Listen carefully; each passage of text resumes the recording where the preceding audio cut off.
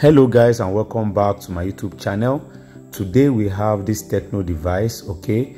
And a technician sent this phone over to my shop and told me he wants me to help him troubleshoot the phone and he wants to know the problem of this phone okay guys? Make sure you watch this video to the end because i'm going to elaborate. I'm going to teach you guys step by step in which you can troubleshoot a dead phone like this okay? So now let's examine the problem together okay? I'm going to insert the, the the charger into this phone and i want you to see what is happening okay? As i insert the charger let me adjust the charger. There's a light blinking on top okay? It's showing a charging light indicator that a charger has been plugged but there is no sign of charging at all. That is the problem of this phone and the phone is not switching on so let me show you from my charger meter and see if it has any consumption okay? From the charger meter you can see from that port is showing 0.0 amps. It's not consuming any amps okay? And sometimes it shows 0.6 and it fluctuates 0.4 0.6 thereabouts. So now let's connect the phone to a dc power supply and get a reading also from a dc power supply. Guys make sure you pay attention okay? This is my dc power supply. The current is on 4.5 volts and the um, sorry the voltage is on 4.5 volts and the current is on 3 amps. Okay i'm going to bridge the the power button and i want you to pay attention to the readings on the dc power supply. As you can see once i press the power key it's behaves like it wants to start up the phone but it drops down okay? So that is the behavior of this phone. But with this reading i already know with this reading from my dc power supply what the problem of this phone what the problem is okay? I already know. But i want to walk you guys through how to troubleshoot this step by step okay?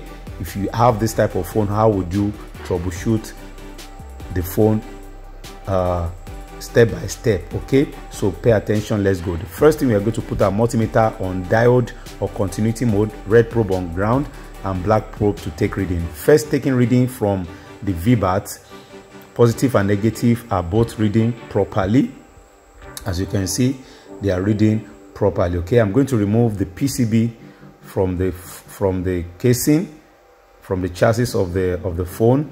I'm going to remove the pcb now and i'm going to do a physical inspection but i have to remove this uh, shield first and the shield is out all right? So what we are going to do is put our multimeter on diode mode uh, like earlier and we are going to take readings of all these components around here. We want to see if there's any shorting component all right from the back side as well.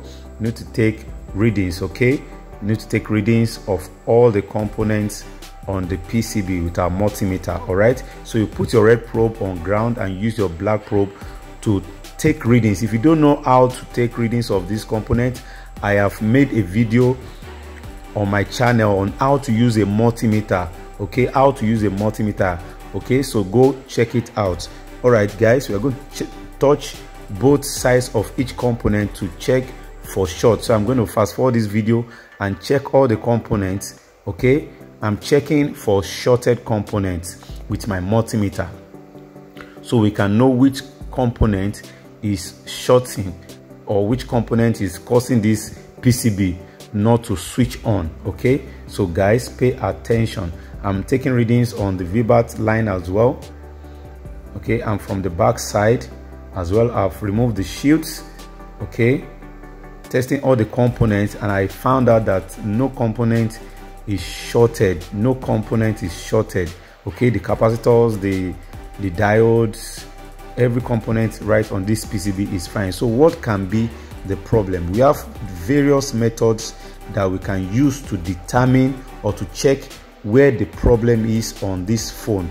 Okay guys we have different methods. I'm going to be taking you through each methods okay that i use to troubleshoot this device i'm holding right here guys don't forget to hit the like button and subscribe. The first thing is to use your fingers to feel the heating components. All right but i'm going to show you how to do that. First we need to plug in the charger. Okay we plug in the charger we are injecting volts like you are injecting voltage virtually okay or indirectly. So you, you feel it with your finger. And you have to be very careful because some components might be very very hot okay all right? Might be very very hot so you have to be careful while touching. And right here i noticed that this power ic is eating up. This power ic is eating up guys. This power ic is eating up. All right? I can feel it from my fingers. So all right the second method is the use of alcohol. Okay? We are going to spread alcohol on this eating area. Okay? So we want to know if that power IC is really eating up or not so the the component that quickly dries up the alcohol is the bad component is the bad component. As you can see the power IC drains out the alcohol okay? And the cpu uh, the emmc right on top right there is still having alcohol as you can see right there. But the power ic has eaten up the alcohol. So the third method is using rosin flux if you want to know how to use rosin flux i have made a video in my youtube channel. Go and check through my videos. You check you you see them. Number four is using thermal camera. Okay? Thermal camera is one of the best tool you can use to detect heating spot on a PCB or shorted component. Okay? Thermal camera will fish out even the the, the the the component that you don't even know is having short okay? So now let's insert the thermal camera. And as you can see we have two heating component right there. Two heating components right on this PCB okay? Let me get off this reflection of this bulb right there. Okay guys just pay attention. Those heating spots it means those ICs are shorted remember the power IC was from the right side of this PCB and the left side there is a component that is also eating up right there. Okay I'm going to show you guys that component in a few minutes. The power IC is also eating up. So now let's check that component that is eating up and let's take it out. Because there are some component that might be eating up the power IC it might be a capacitor it might be diode it might be resistor.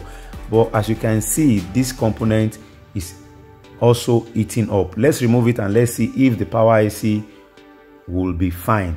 Okay so let's remove this component. This component looks like diode something like that a protective component. And that component is out is somewhere here. You see that component is there. But remember earlier when i was feeling with my fingers i can't even sense that the component is eating up. But as you can see it's eating up. I have taken out the component. Okay this is the component uh, within uh, in, in my tweezer and it's out. So we are going to put the pcb back into the into the casing. And we are going to switch on our thermal camera again to see if the power ic is also still eating up. Okay guys. Now let's go. The thermal camera is on now. The thermal camera is on. Okay and the power IC is still eating up. The power IC should not eat up. That means this power IC is also bad. And the other components right down is no more eating up. You see we have only one eating spot now which is the power ic that means there is a short inside this power ic component okay? There is a short right there. And as you can see from that uh, that component will remove from there is no more i mean that area is no more eating up. So the short from there is out. That's partial short and the power ic i think is also having uh, half, half short okay? So guys what you need to do now is to replace this power IC and that component that we removed. All right we can get this from donor board or a brand new one. Thank you so much for watching my video see you in my next video. Peace